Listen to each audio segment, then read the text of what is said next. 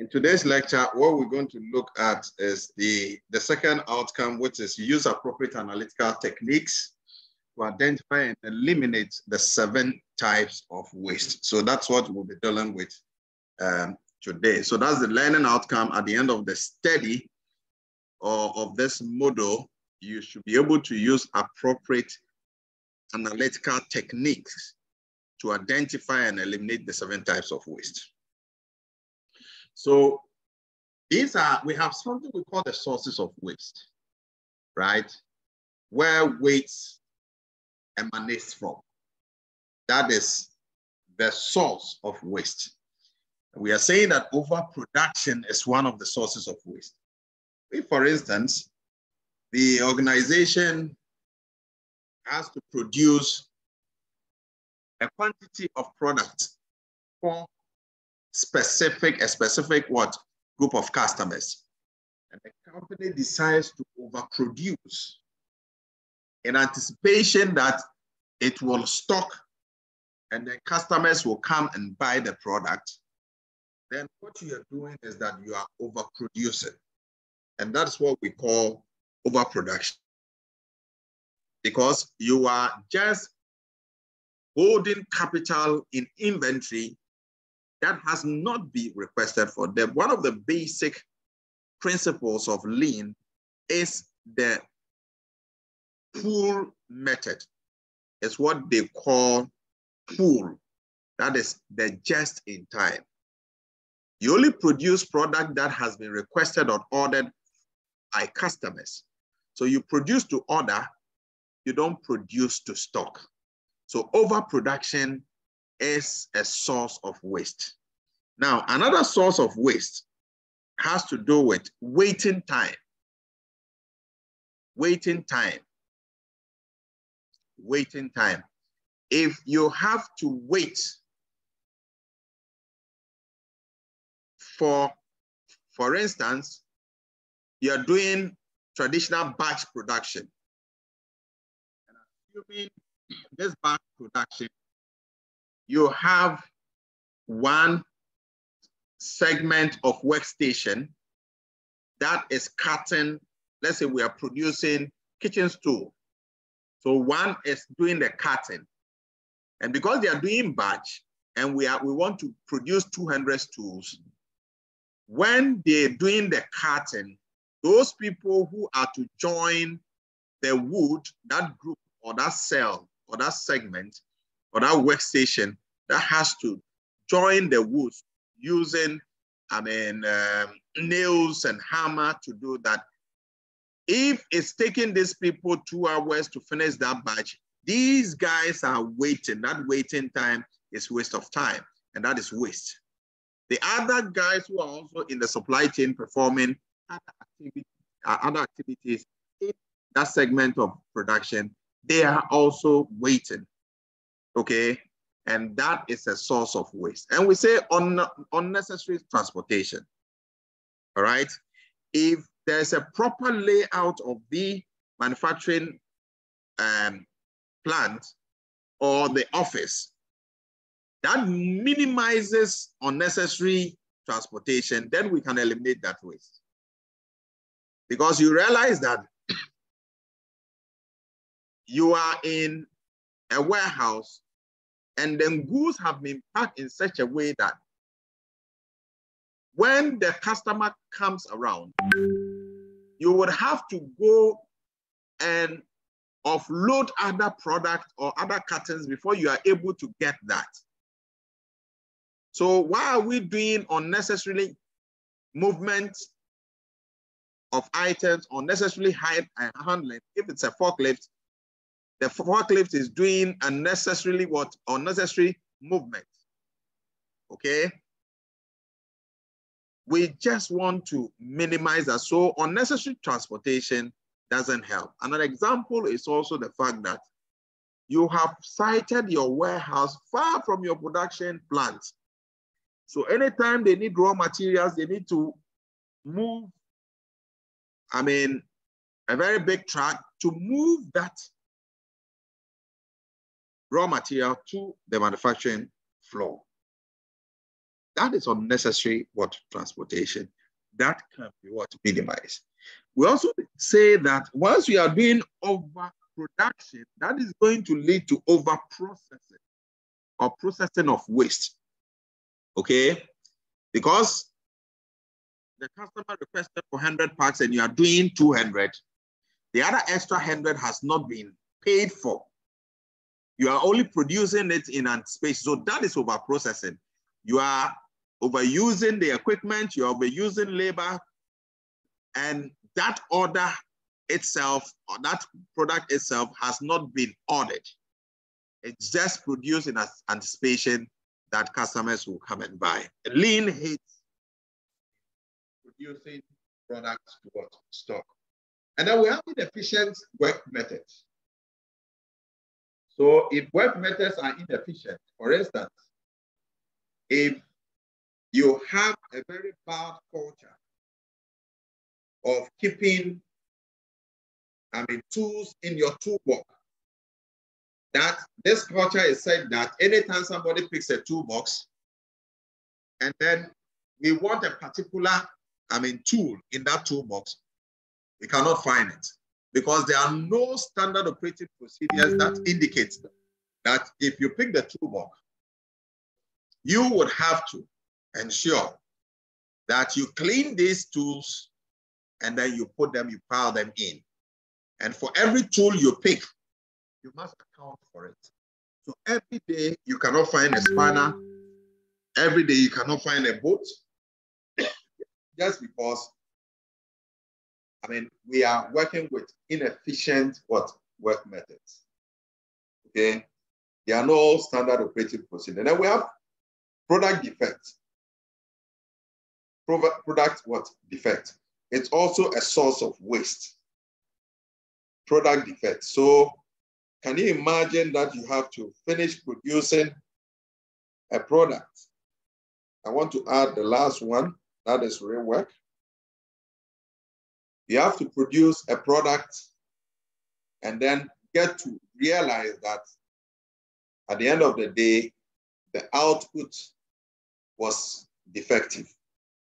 If the output is defective, then that becomes a source of waste. What it means is that we cannot use it anymore. We have wasted time and energy, resources, human resource, material resource, financial resources. We've paid light, we've paid, I mean, a number of wage and also paid salary in addition. At the end of the day, the product came out as defective.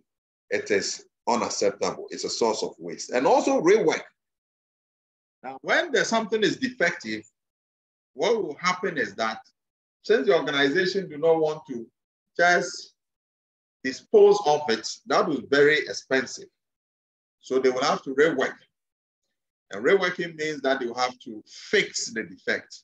Sometimes the cost of fixing the defect outweighs the actual cost of doing the thing, I mean, new, because you don't really know what to do. So these are the sources of waste this can also be classified as the types of waste. So don't confuse yourself. They are the sources of waste. They can also, also be classified as the what? The types of waste. And then we have waste elimination. So whilst these are the source of waste, now what look at the outcome. It says that use appropriate analytical technique to identify and eliminate the seven types of waste. So the identification of the waste is what we have done. The overproduction, the waiting, the unnecessary transportation, processing waste, inefficient work method, product defect, and rework. Okay. You remember I asked you to go and look for the other types of, I mean, uh, waste aside what? The muda.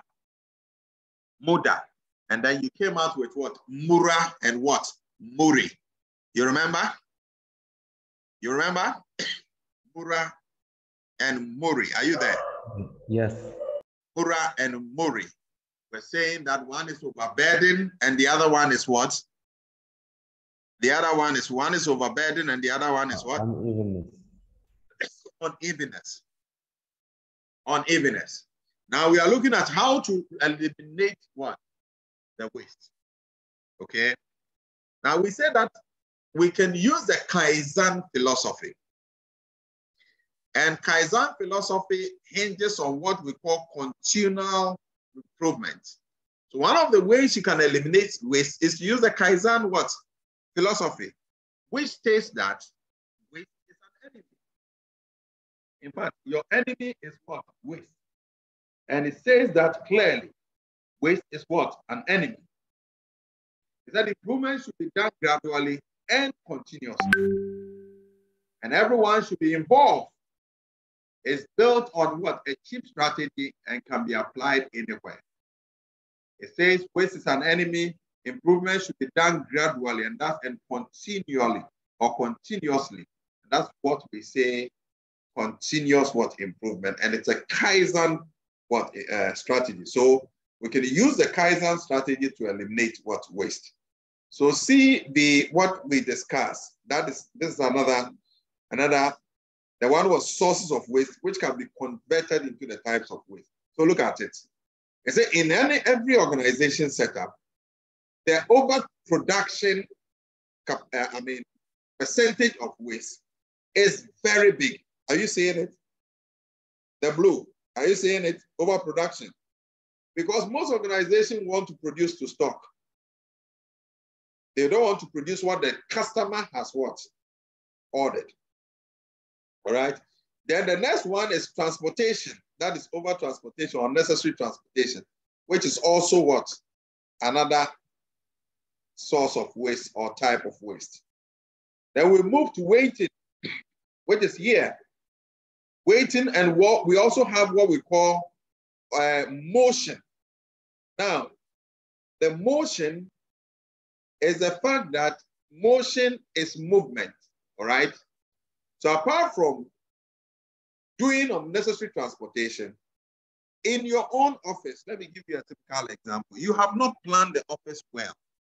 So where your desk is, such that your cabinet, where you have placed it, anytime you need something, you have to walk from maybe 30 seconds to pick that.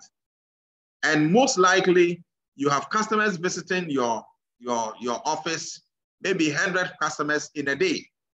It means that each customer has a folder and because you have not planned this thing well, most times you have to wake up and walk 100 times. That is motion, but that waste is unnecessary. That is motion, it's unnecessary. Okay? Then we have over processing, what, what I talked about. Once there's overproduction, there's always going to be over processing. What we are processing, we don't need. Let me give you a typical example of over processing. So you are just maybe, for instance, um, um, producing an example will be producing, let's say, uh, a certain product. Um, let me give a, a typical example. Let me use the kitchen stool as well. Okay. So the guy cuts the, the, the, the wood and it gets to the joining of the wood. It is joined. But it gets to the planing, you understand, or finishing.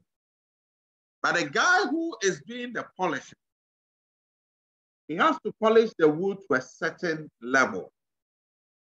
But after getting to that level, he gives it to another person who also does further polishing, which actually it is not needed. The customer has not said that he did a smooth, I mean, I mean, uh, a smooth what, uh, uh, uh, surface.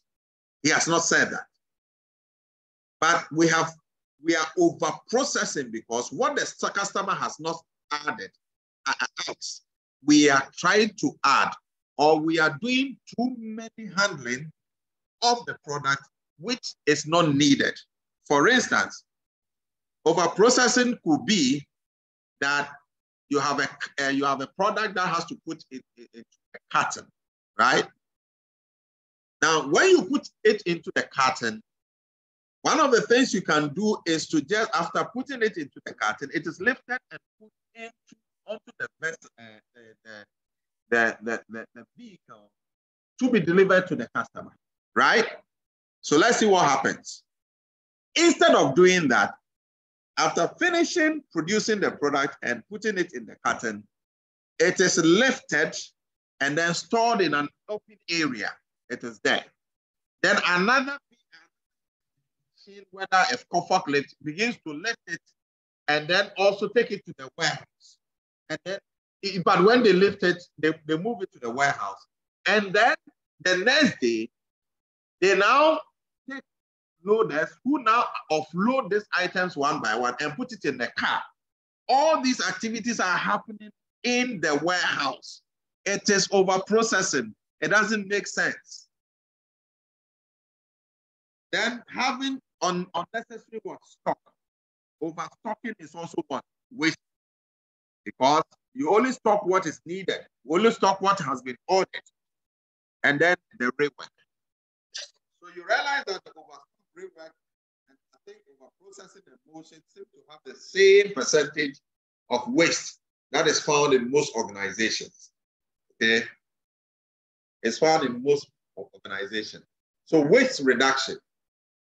We are saying that fast delivery reduce work in progress and fast throughput all reduces what? Waste. When we deliver, I mean, with speed, we reduce work in progress.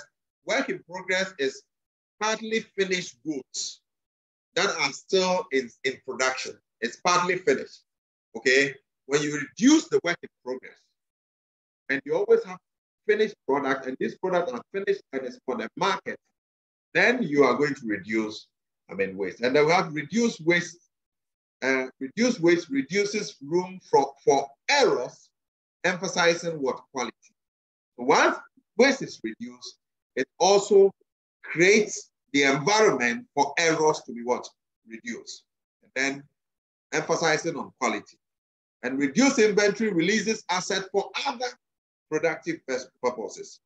So if you reduce in inventory, if the assets, which are the, uh, the, the possession of the business, okay, if you release the inventory, but we use those assets to generate revenue.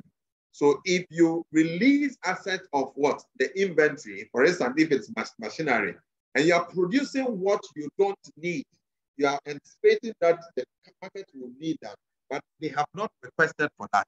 If you do that, if you are able to what? You block the asset and you are not able to use the asset to do other productive what? Activity. Okay, so that is also very important. So we are saying that you can use some of these techniques to reduce waste, and there are other techniques, but there's something we say becoming what lean.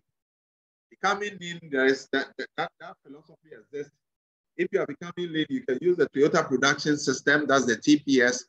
You can use the lean thinking what? Philosophy. Or you can do use what? The Ford production system. The Toyota production system is based on the just-in-time philosophy, all right? And that was what brought the whole concept of lean, where Toyota didn't have much money. And as a result of uh, that, they were of necessity required to now produce in small lots and uh, produce what the customer has, the order here, their place. So it was not something that was a deliberate strategy. It was born out of necessity and it has become a world-class strategy. Ford production system uses something similar like, like, like that. And we are saying that you can also imbibe that soft skill of lean thinking in, uh, in workers, that they think lean they think always reducing waste. Most organizations have in their corporate social, uh, corporate um, what they call corporate credos, which are their their core values. They have what they call, I mean, some statements that imbibes lean thinking strategies in them or philosophies in them. And this is what some people do. They say that they have a cliche that waste is an enemy waste is an enemy. So it becomes a cliche, okay? And when they meet, they say waste is an enemy. Some people even go to the extent to say that waste takes up our, salary. Waste, I mean, reduces our allowances. So it's something they say every day and they work towards it. So these are the five approaches to becoming lean. The first one is value, uh, value defined by the customer. Value defined by the customer. And they say that the customer has to specify value. Value can only be defined by the customer because the customer knows what he wants. But that customer has to define value based on a certain standard, a certain requirement. And most of the standard, we use the ISO International Standard, uh, uh, uh, Standardization uh, Organization. We don't say International Organization because it's ISO. Uh, we say I is in International Standard Organization.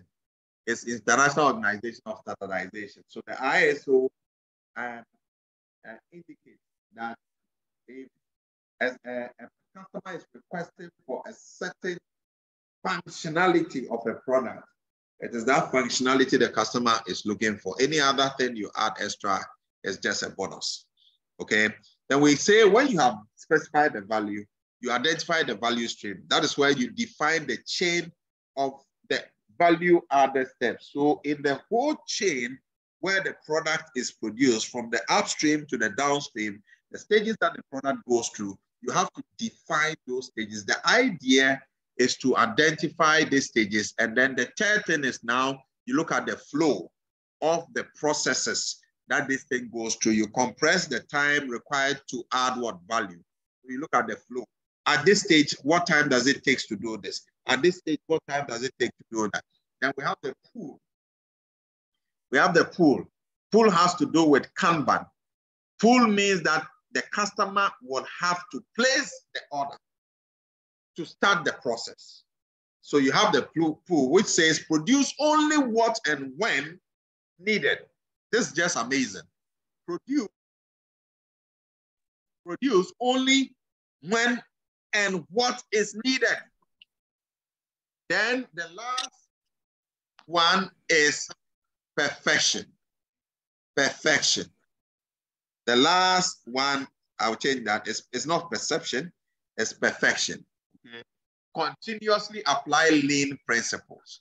So when I ask the question that what are discuss or evaluate the five approaches to becoming lean, this is what I mean.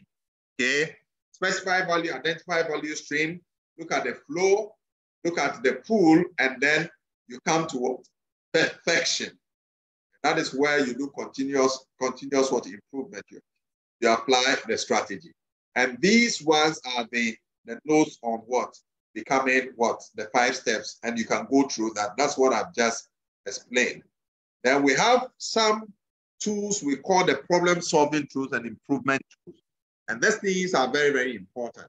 In fact, one, these are one of the uh, five, uh, uh, one of the top 20 um, employability skills that the World Economic Forum is looking at for uh, employers who as, uh, uh, want employees to work for them. In fact, what they are looking at is one of the core competence is problem solving and uh, skills. They call it problem solving skills. And this is problem solving and improvement tools. So if you know these tools, you'll be able to solve problems. And one of it is the scattered diagram. So how can you use that scattered diagram, for instance, to be able to group, I mean, uh, data in such a manner that you're able to see the correlation, see which ones are outliers, and try to identify uh, certain key variables in there, and you're able to solve your problem. So for instance, if you have a scattered diagram that you see an outlier, a data that is lines far, then you know that if you take the mean of that, that mean would not be a good estimate because you are having ages, for instance, between 25, 26, 27, 30, 31, and there's an age of 60. So if you add it together and want to strike the average, that is going to be problematic, okay? Then the process flow is also another tool that we should, and I'm going to briefly take you through this.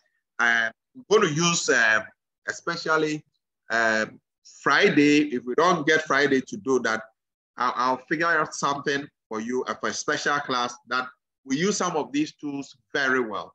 And then we have the cause and effect diagram, which they call the Ishikawa diagram. It was designed by one guy called Ishikawa, uh, uh, Ishikawa, and he came out with a cause and effect analysis where you're able to identify the contributors or causes that is giving birth to a certain effect or a problem. Once you have these tools at your fingertips, it's easy for you to be able to deal I mean, with issues. So this is the lean house we talked about the other time, where we have guys Kaizen as the roofing, and then we have standardization. Uh, standardization.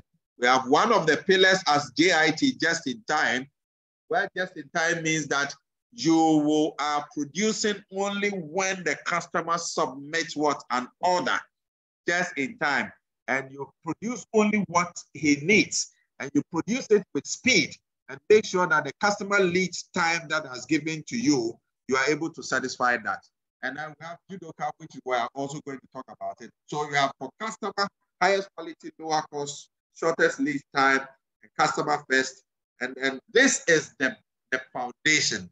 He said for the employees, work satisfaction, job security, consistent income, react for what? Humility. And for the company, market flexibility and profit cost reduction elimination of waste. So you see that this becomes the lean house. The other time I showed you another one, okay? So these are some of the, the lean tools for eliminating what waste. Now, we are going to deal with this in Excel, like cellular manufacturing. We're going to play a video on it. We're going to talk about takt time, standardized work, and what I need you to do, and one piece flow or continuous flow we're going to look at the pull system or Kanban. We've talked about this. We said Kanban is pull. Kanban, I will show you a typical video that talks about Kanban that you would appreciate this thing very well. And then we, we use the five W's and the one H. These are all problem solving tools. Quicker changeover, that is the SMED. And my almighty mistake proven Poka-yoke, all right? These are terms that we're going to go through, I mean, seriously. Hanjin car leveling, and let me just take you through just a few where we'll get to. So we are saying that for cellular manufacturing, we are dealing with cellular manufacturing, which is an approach in which all equipment and workstation are arranged based on a group of different processes located in closely uh, proximity to the manufacturing a group of similar word products. The primary purpose of cellular manufacturing is to reduce cycle times and inventories to meet the market response time. The cycle times is to reduce. So what we are saying is that we have small cells and it's able to help us to produce a certain product, okay? That product that we are producing, we are able within the cell to complete several products within a certain limited period rather than producing pieces and then in bulk and then having work in progress halfway. Cellular manufacturing doesn't work that way. What I'm going to do now is that I'm going to end here and then pull a video on cellular manufacturing and then show that to you. And then we draw the curtains down for today. Okay, so let's look at this.